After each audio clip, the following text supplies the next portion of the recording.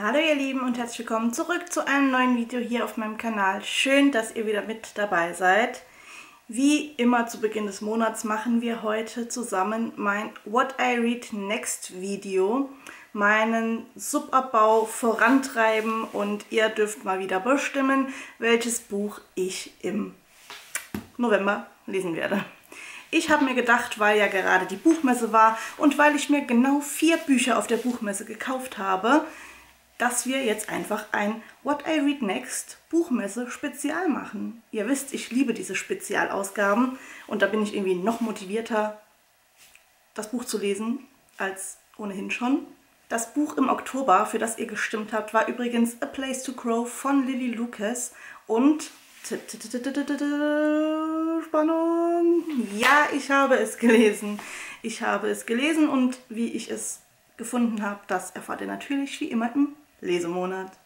Ja, aber um den soll es heute nicht gehen. Heute soll es nämlich um den Monat November gehen. Ich habe hier wieder vier tolle Bücher, vier tolle Buchmessebücher, die ich euch vorstellen möchte. Ich denke, ihr habt sie jetzt schon mehrfach in meinen Videos gesehen, aber es passt halt thematisch einfach so gut und ich finde irgendwie den Gedanken ganz cool, dass ich mir vier Bücher gekauft habe, alle vier lesen möchte, auf alle vier Bock habe, aber mich sowieso nicht entscheiden kann und deshalb euch den schwarzen Peter zuschiebt, welches Buch ich zuerst lese.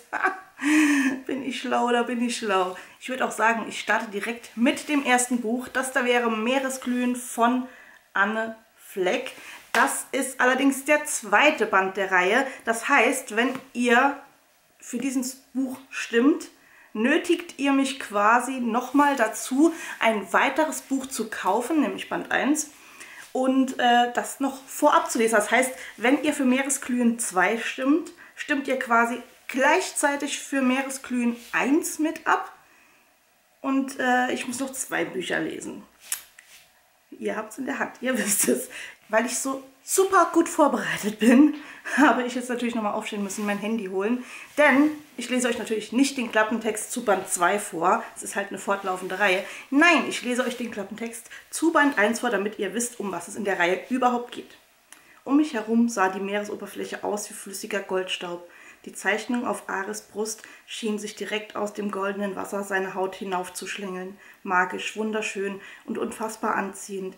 Er schüttelte sich das Wasser aus den Haaren. Atmen, sagt er mit einem leisen Lachen. Das bisschen Sturmflut. Ella ist fest entschlossen, sich ihren Cornwall-Urlaub in Grannys Cottage nicht verderben zu lassen.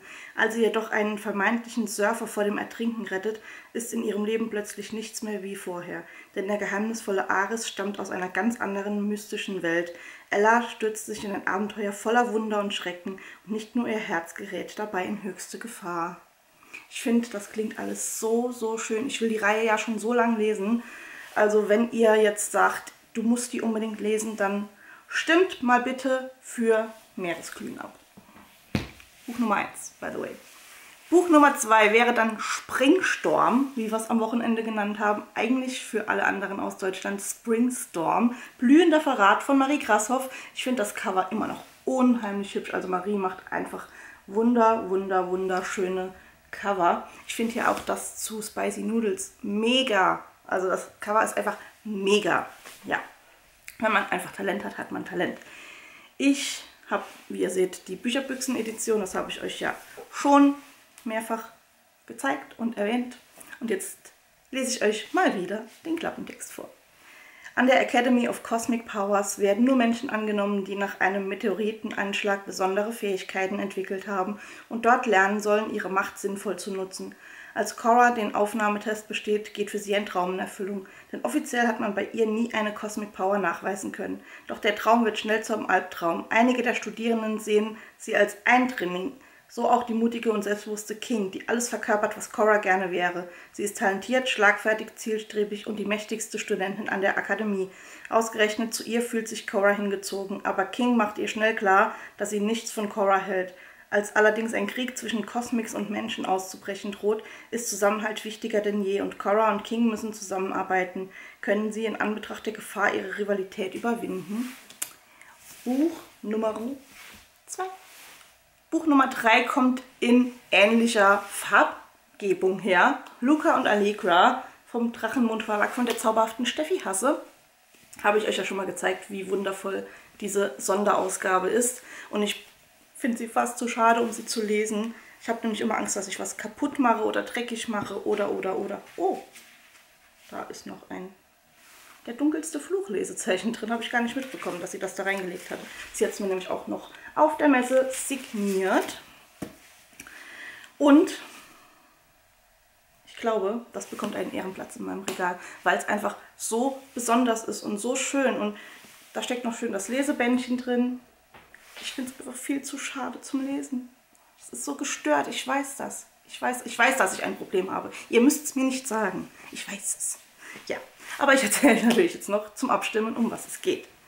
Maskenbälle, unsternbedrohte Familiengeschichten und verfluchte Liebespaare kennt Allegra höchstens aus ganz alten Büchern, aber mit der Realität haben sie für sie nichts zu tun. Das ändert sich grundlegend, als sie bei einem Kurzurlaub am Gardasee erfährt, dass ihr Hotel von Nachfahren der Capulets geführt wird. Anscheinend ist ihre Fehde mit den Montagus auch nach hunderten Jahren noch intakt. Als sie aus purer Neugier die andere Seite des Sees erkundet, beginnen sich die Ereignisse unwillkürlich zu verdichten, denn Allegra trifft auf Luca Montagu und damit auf ihr magisches Schicksal. Ach, das klingt so schön. Ich möchte es lesen, aber lasst euch davon nicht beeinflussen. Also wirklich, sagt mir ganz ehrlich, welches ihr lesen würdet und nicht welches ihr denkt, dass ich das lesen möchte. Bleiben wir beim Drachenmond Verlag, denn Buch Nummer 4 habe ich auch dort am Stand gekauft. Aber ich habe es mir nicht am Stand signieren lassen, sondern auf dem Blogger-Treffen. Da habe ich die liebe Janina nämlich auch getroffen. Und ich finde dieses Cover sieht so ein bisschen aus wie Clary von den Schattenjägern, oder? So ein bisschen. Der zweite Band ist Giftgrün. Das sieht auch mega cool aus. Die liebe Ninja hatten sich auch gekauft. Aber ich dachte, ich versuche es jetzt erstmal mit Band 1 und dann schauen wir weiter. Ich muss mir nämlich abgewöhnen, immer gleich ganze Reihen zu kaufen oder Folgebände, wo ich noch nicht mal weiß, ob mir der erste Band gefällt von Inhalt und von Schreibstil und Co., weil ich von ihr halt auch noch gar nichts gelesen habe. Das ist also ein absolutes ähm, ja, Überraschungsbuch für mich und ich erzähle euch jetzt natürlich auch noch, um was es in dem Buch geht. Ein neues Leben und eine neue Identität. Das ist es, was Catalea braucht, um ihre magischen Fähigkeiten zu verstecken, nachdem ihre Familie einem Verrat zum Opfer fiel. Was sie ganz und gar nicht gebrauchen kann, ist Alistair, der junge Mann mit dem einnehmenden Lächeln und den grellgrünen Augen, hinter denen sich ebenfalls ein dunkles Geheimnis verbirgt. Denn Alistair ist ein Hexenjäger, dazu geboren, um Wesen wie Catalea zu töten. Sie wäre die perfekte Beute, wenn da nur nicht dieses verfluchte Gefühlschaos wäre. Keiner von ihnen ahnt jedoch, dass er nicht der Einzige ist, der die junge Frau jagt. Buch Nummer 4. Und wie immer werde ich euch jetzt mal alle Bücher im Schnelldurchlauf zeigen. Das erste wäre Meeresglühen, Band 1 und 2. Das zweite wäre Springstorm, blühender Verrat. Das dritte wäre Luca und Allegra, also quasi die Romy und Julia Neu-Erzählung. Und dann hätten wir noch Witches und Hunters Band Nummer Uno. Jetzt liegt es in eurer Hand. Mein Schicksal liegt in eurer Hand. Ihr dürft jetzt entscheiden, welches der vier Bücher ich lesen werde. Und dann schauen wir mal, ob ich vielleicht dieses Jahr noch ein weiteres von meiner Buchmesse Subabbau Challenge ja, lesen kann. Oh Gott, ich fange wieder an, dummes Zeug zu reden. In diesem Sinne verabschiede ich mich, bevor es noch bescheuerter wird. Und dann, äh, ja, sehen wir uns hoffentlich bei meinem nächsten Video wieder. Tschüss!